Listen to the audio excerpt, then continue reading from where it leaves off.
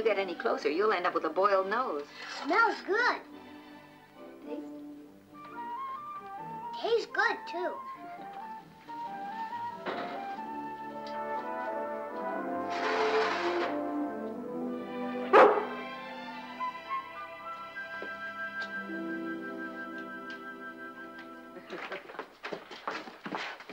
Hey, that smells great. That's an opinion also shared by Timmy and Lassie. They're done, aren't they?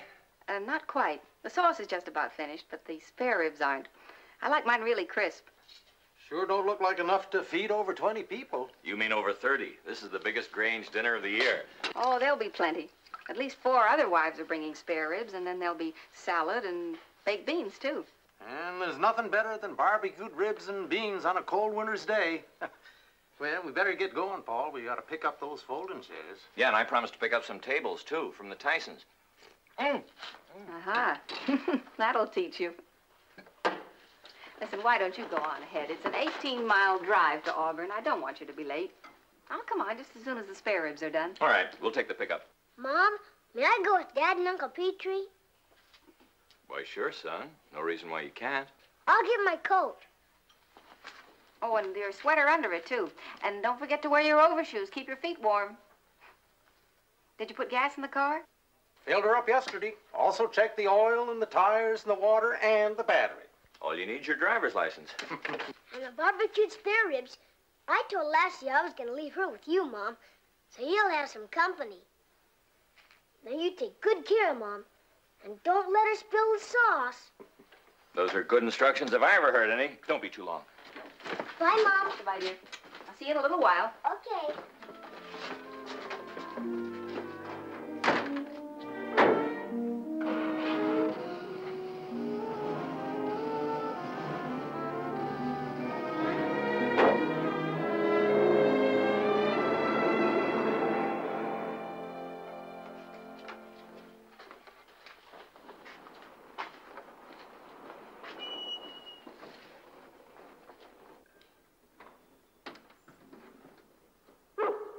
Lassie? What is it, Lassie?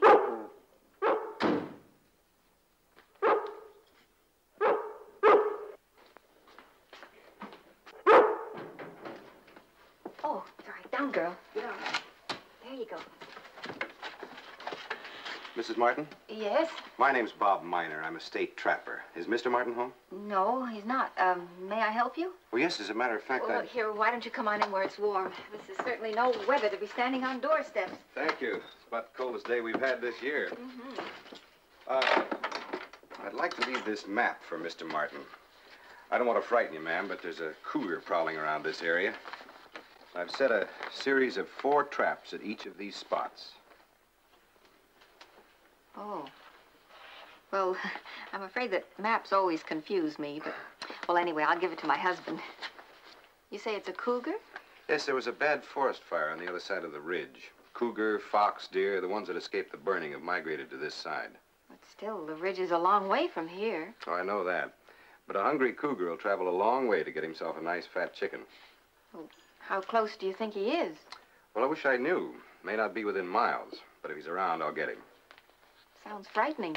What, um, what could we do? Just be careful. These are good, strong traps. They're anchored to a log buried several feet. They'll hold a horse. Oh, they look awful. They look worse than they are. Matter of fact, the spring on these has been weakened, so the animal isn't hurt. He's just held.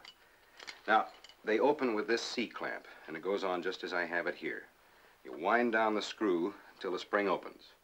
I'm going to leave this with you, so if any of your livestock gets caught, your husband can free it. And like I said, the traps won't hurt it. Oh, if it were my dog, I'd keep it in the house till we catch that cougar.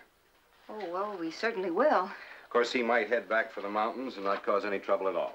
Oh, I hope so. Anyway, thanks for the warning and for the map. Yeah. I make the rounds of my traps every day. If we get him, I'll let you know. Well, wish you good luck. Thank you very much. Bye. Thank you.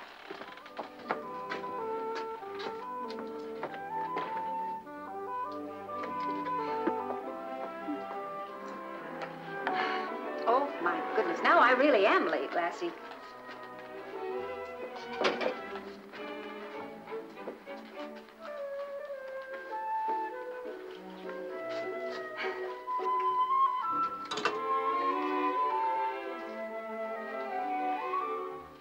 No, thank you, Lassie.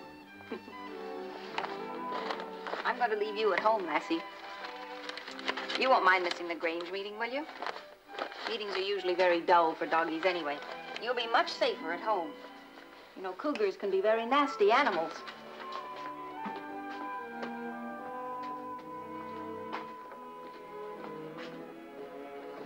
Bye, Lassie. We won't be very late.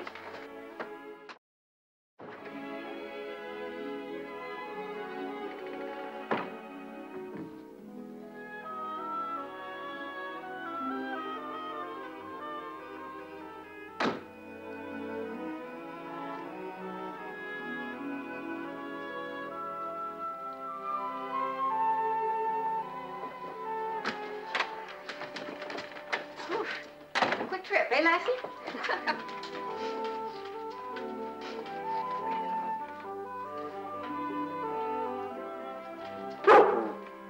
I know I'm not much of a shot, but it makes me feel better. Bye. Take care of things now.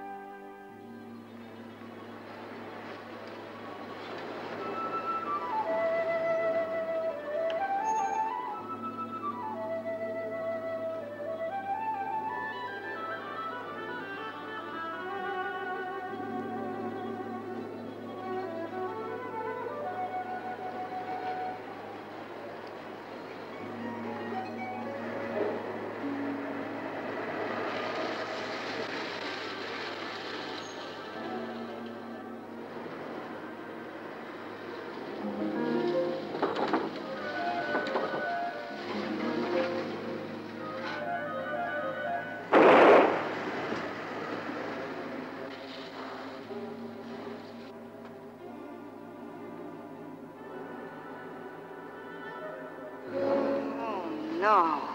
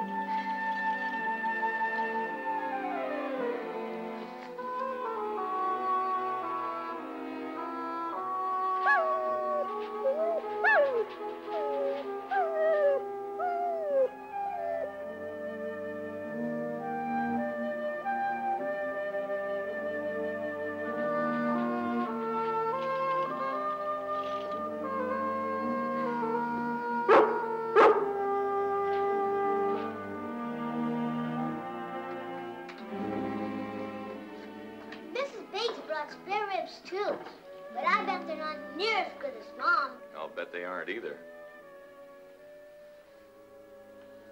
She's really late.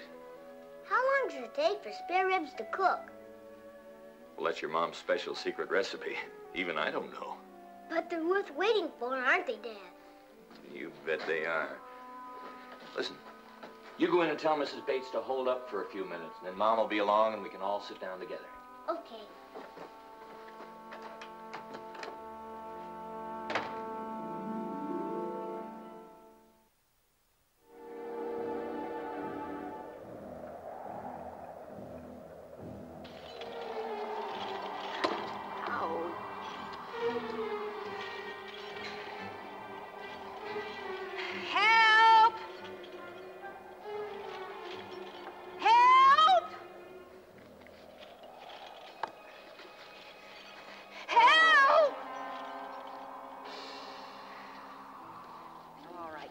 Martin. Stop acting like an idiot. Hysterics isn't going to get you anywhere. What you need is a calm, sensible look at the situation. Now, you're caught in a trap. You may have an injured ankle. You're in a very lonely spot where there's certainly very little traffic. You just freeze before anybody finds you.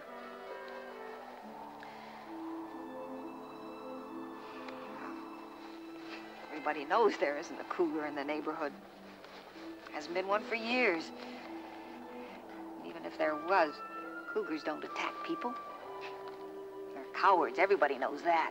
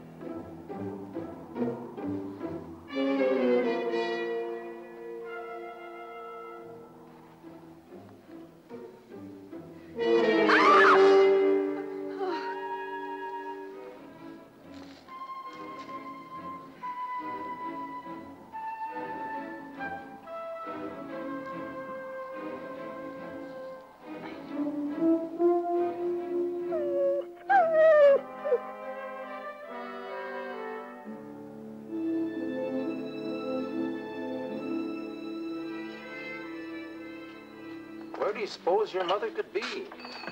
Maybe she got lost. Between here and home? No, tain't likely. Jenny, this is Paul Martin. Ring my home, would you please? Thanks.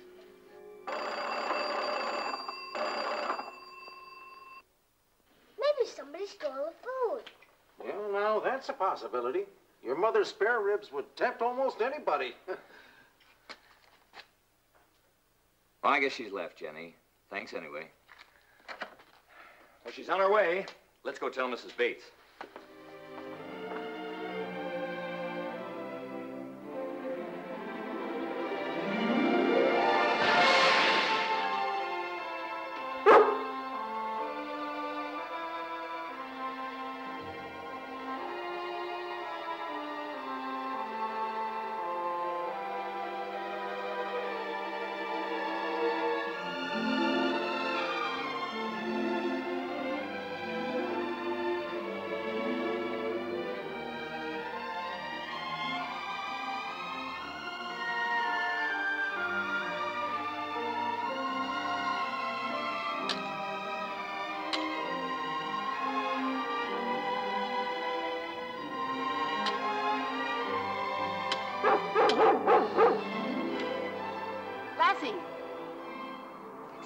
Stay, stay! There are traps all over here. Now you stay where you are.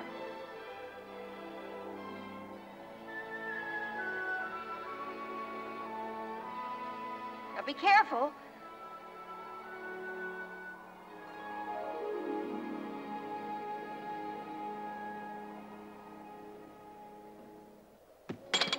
Oh, good girl.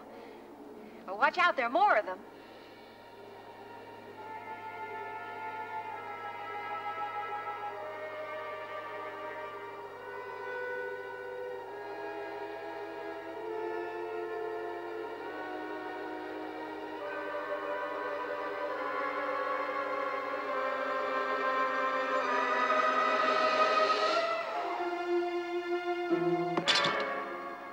Dog. But please be careful.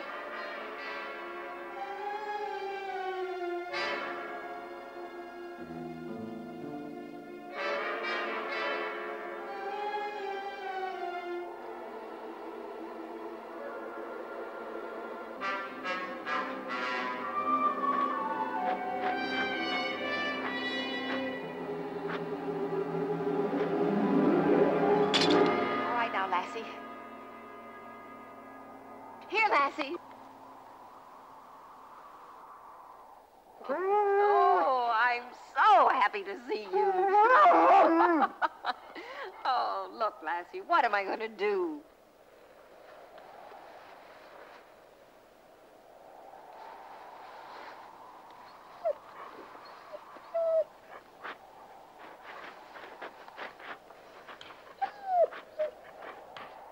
It's no use, Lassie. It's buried too deep. Come here, girl. Lassie, do you remember the, the C clamp that the trapper brought? Well, I think I left it on the sink. Would you go get it for me?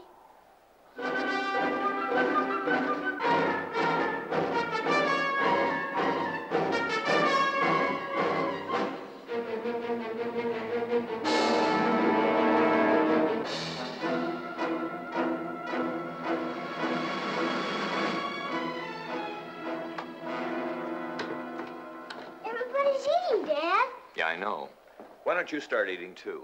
I want to wait for you and Mom. Besides, I ate a hot dog. Where can she be? Maybe she stopped off someplace. Yes, but where? And why? You know, Mom. Always trying to help somebody. No, you're right. You know, I'll bet at this very moment she's safe and sound in some house doing something for someone. Besides, Lassie's taking care of her. Of course she is.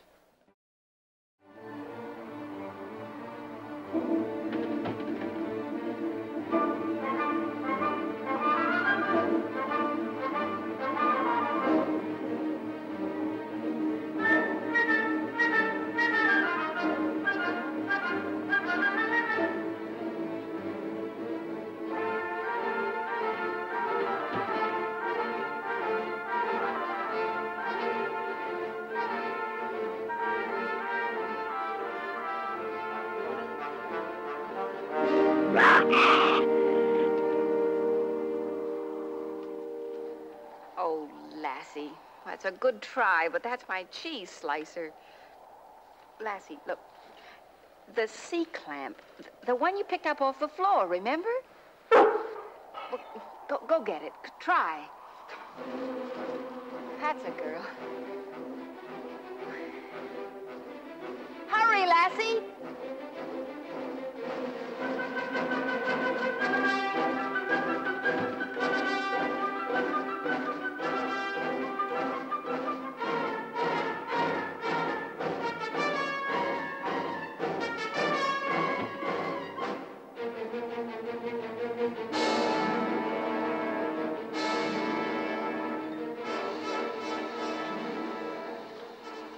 Petrie go on in and eat, Timmy? I'm going to go look for your mother.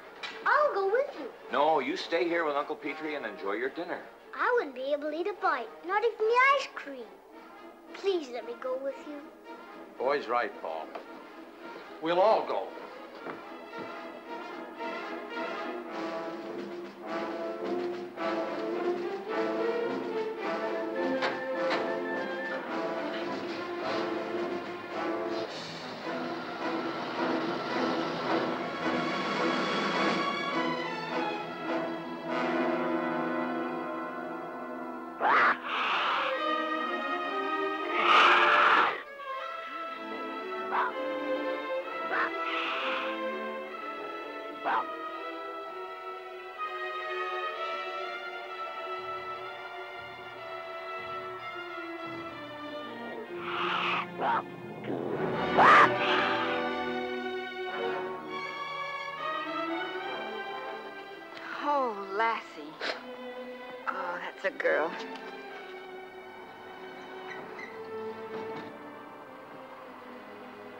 Funny we haven't met her yet.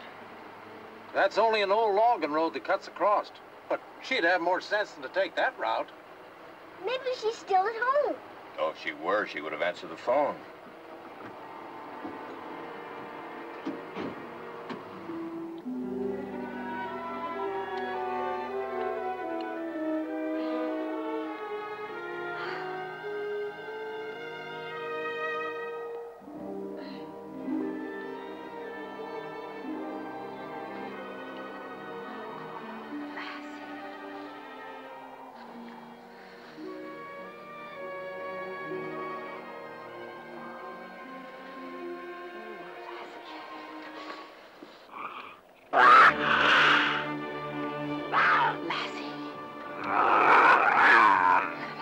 Here.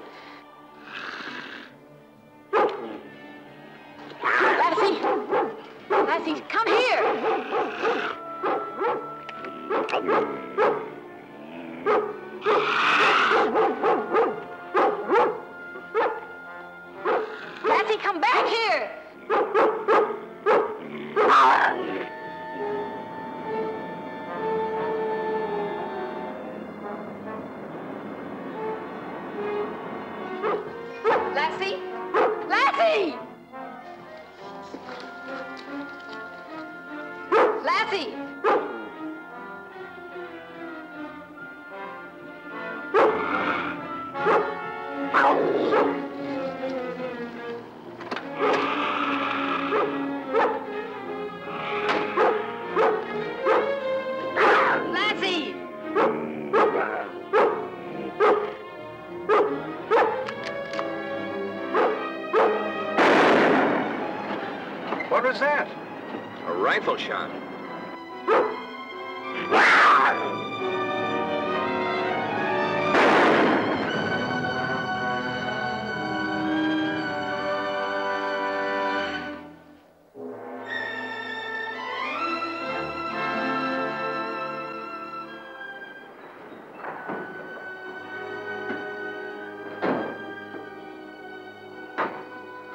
Ruth, what happened?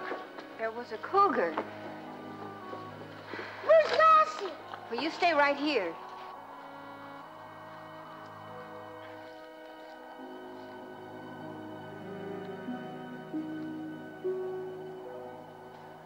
It's all right. Oh, He's dead.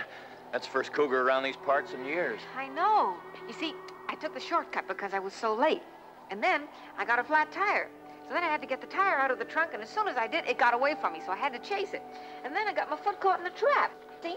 But Lassie got me out. Well, we better get you to Doc Stewart. Oh, well, no, really, I'm all right. It doesn't hurt. I'm just kind of shaken up, and oh, I'm very cold. Well, we'll just take you home and get some hot soup in you. Oh, my spare ribs. I bet they're finished eating back at the Grange.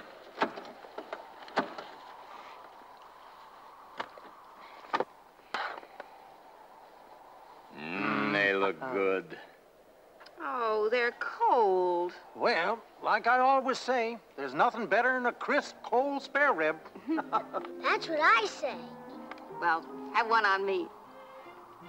Oh, Lassie, would you like one too? You certainly deserve it. There, be my honored guest.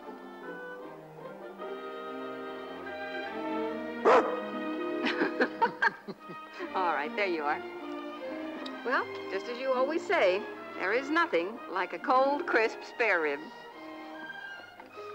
Till Boomer hears how you saved Mom from that old cougar.